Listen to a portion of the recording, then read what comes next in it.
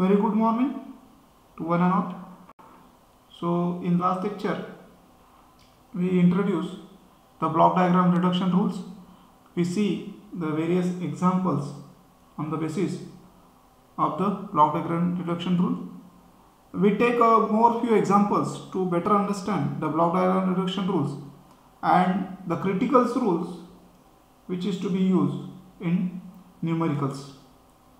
This type of example will be asked for the 10 marks in university question paper or in maybe competitive exam. So before going to this lecture, we take a review of previous lectures.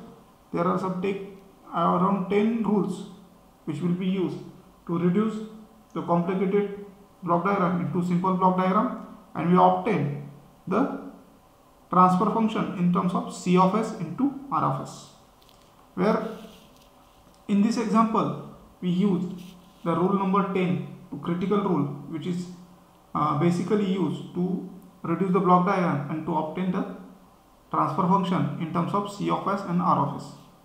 So here we see the use of rule number 10 critical rule insulation to reduce the block diagram and obtain the C of S into R of S.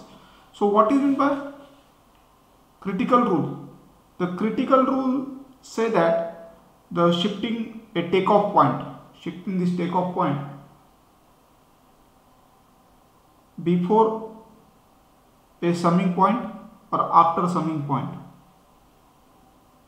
So by using this rule we can solve this block diagram and obtain the transfer function.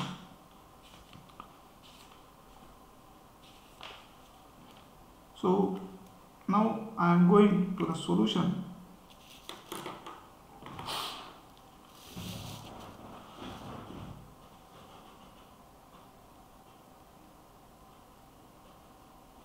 So first we take the summing point before G2 block. So whenever we change anything, the output or input remains same. There is a no change in a condition. So when we shifting this summing point to here before the G2 block, so you must be added this G2 block in this feedback. So we can get shifting takeoff point before G2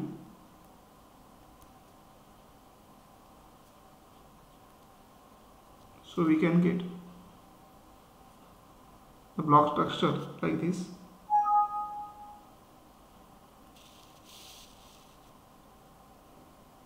G1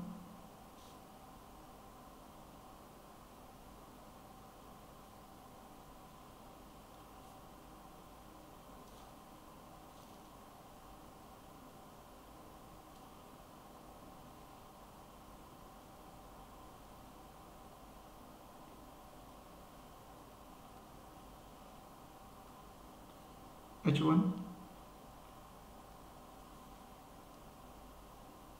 this point will be shifted here before the G2 takeoff point. So we can add G2 here. Okay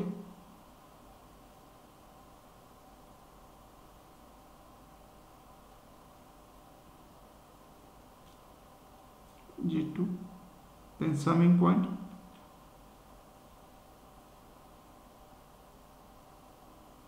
Again there is a feedback path. H2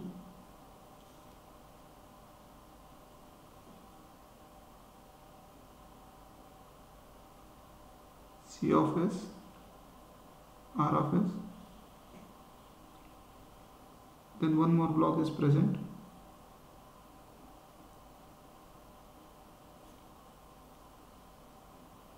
that is G3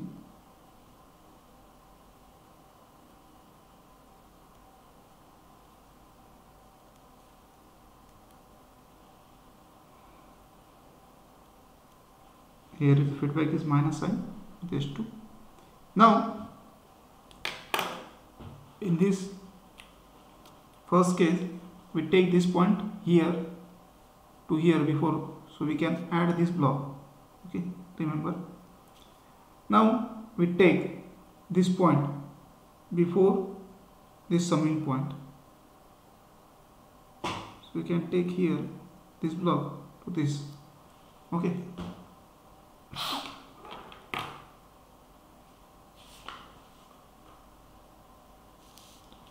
So we can shifting this point to the before summing point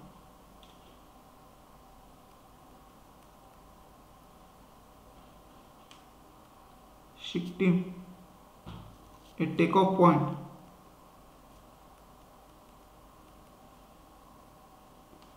before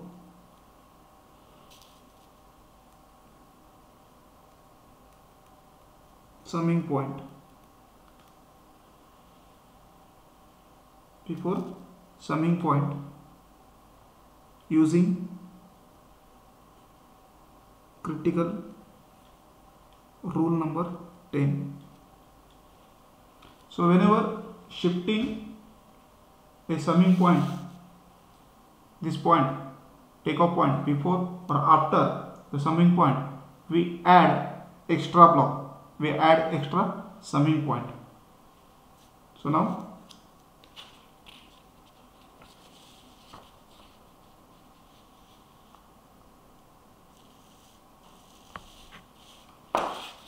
according to rule we solve this example.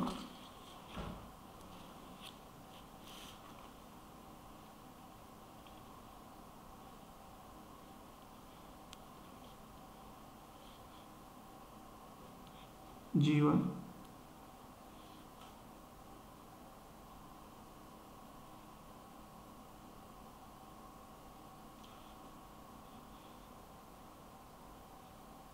we take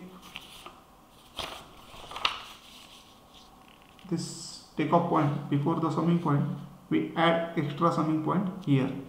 So we can get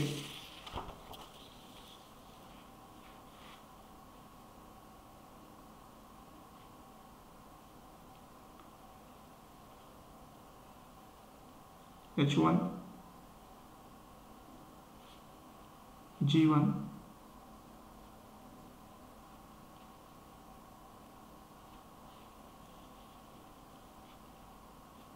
add extra summing point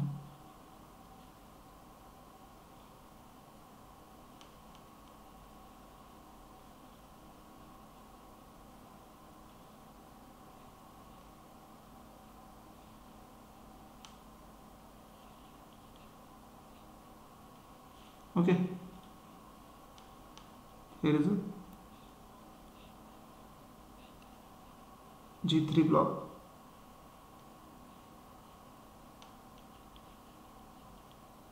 g2 as it is.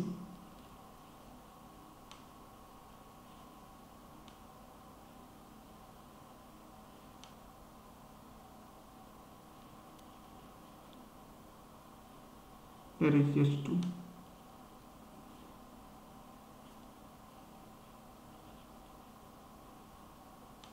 C of S into R of S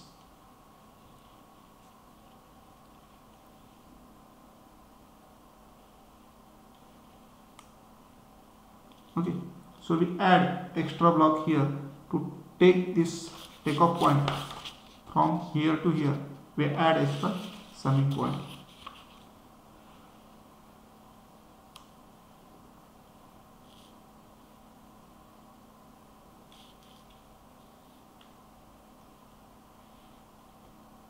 Now we separating these feedback paths. First one is this one and second one is from this one. So we can separating.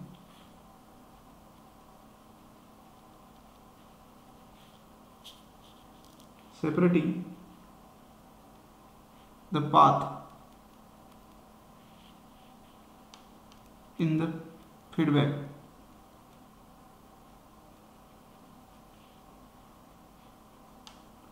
shown dotted line by pencil. Okay? So this is first one path from here to here and second one from this. Okay? So we can see two separate feedback paths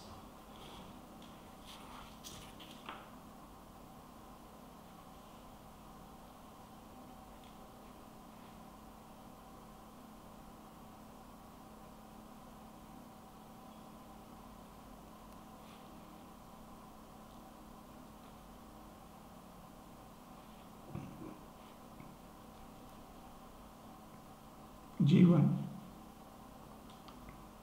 this is first feedback path which will be shown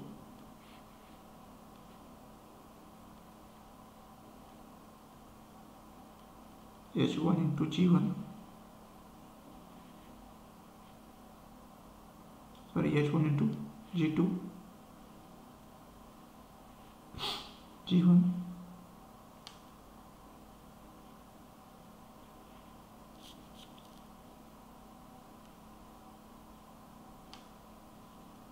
summing point.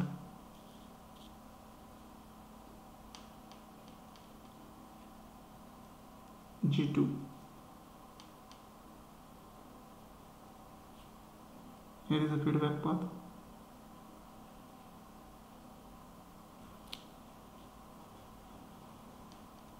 H2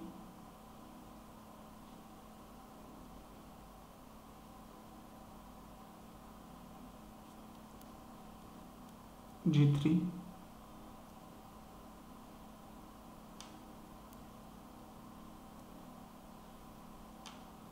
plus minus.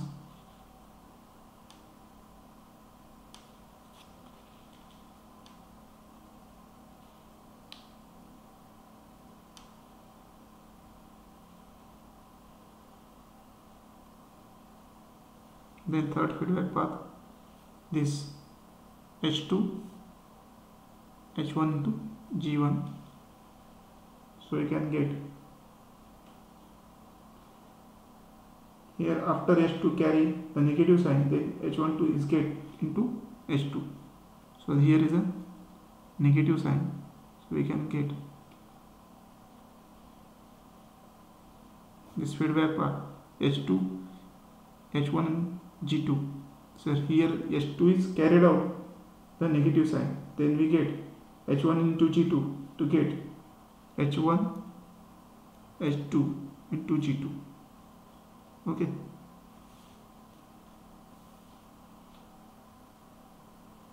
C of S into R of S. Now these two blocks this is a minor feedback loop.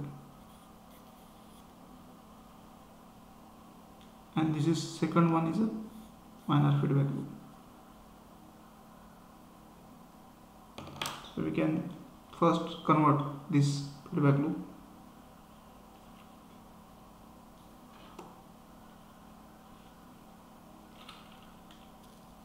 So we get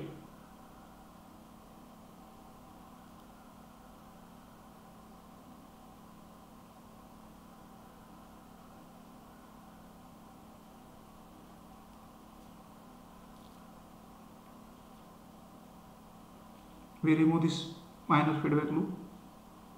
So here sign is negative. So we get g1 1 plus h1 g1 into g2 according to the to remove the feedback loop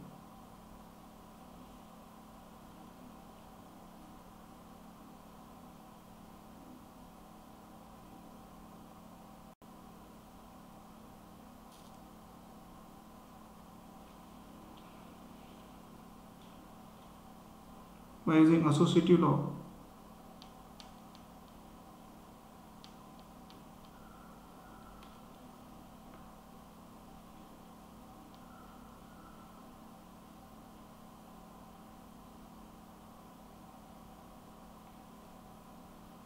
We change these two blocks, okay, which is in parallel.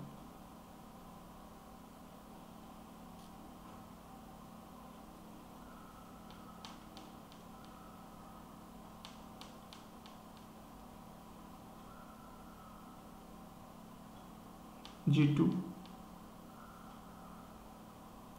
H2 okay.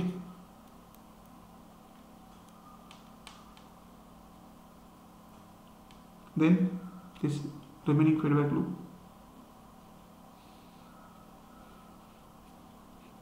That is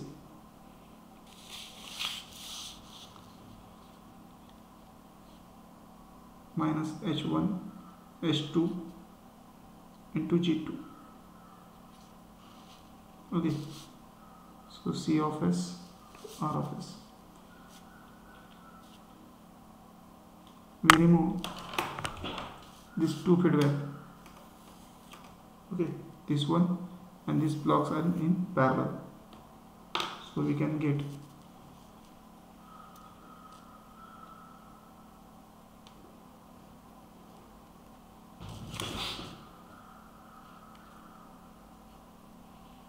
after solving removing these parallel blocks and these are in feedback loop. So g1 h plus h1 g1 into g2 these two blocks are in parallel.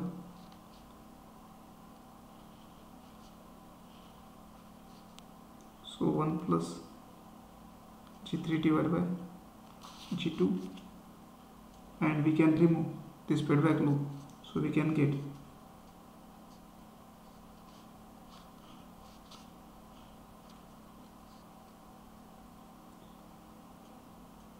G2 here is a negative sign so we can take positive feedback. G2 into H2 okay. And the remaining is feedback loop is consist of H1 G1 H1 H2 G2 here is the sign is negative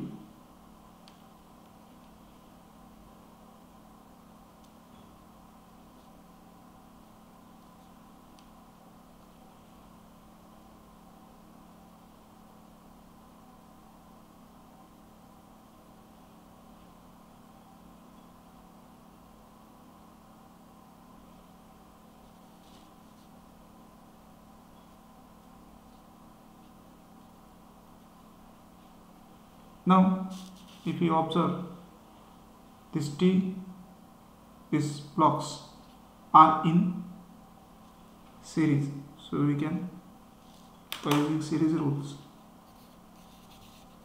First, will be reduced in the simple format.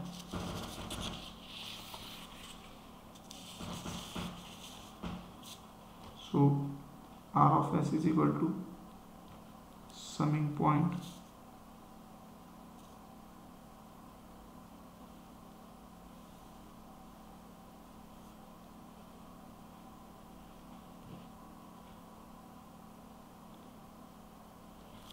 these three blocks are in series. So we can when the blocks are in series then we can multiply each other. And when blocks are parallel then we can add each other. So we can get g1 g2 g3 bracket divided by 1 plus g2 into h2 again bracket 1 plus h1 g1 into g2 and feedback loop that is negative h1 minus h1 h2 into g2 then c of s. Then we can write the final equation from this. So c of s is equal to r of s. This is a negative feedback. So we can get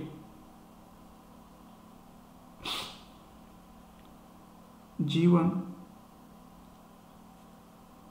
g2 into g3 first block in numerator as it is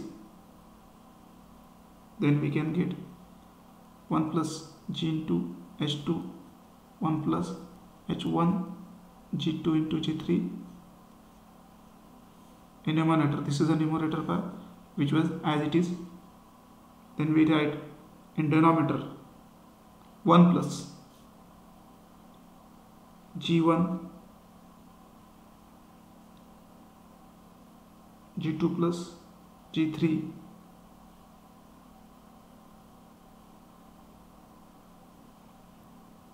into minus h1 multiplied by this feedback loop h1 h2 into g2 divided by 1 plus g2 into h2 1 plus h1 g2 into g3 here remember this is negative feedback so we can get the positive sign here in denominator. After simplification we get the more simple format equation of the transfer function. So g1 g2 into g3 divided by 1 plus g2 into h2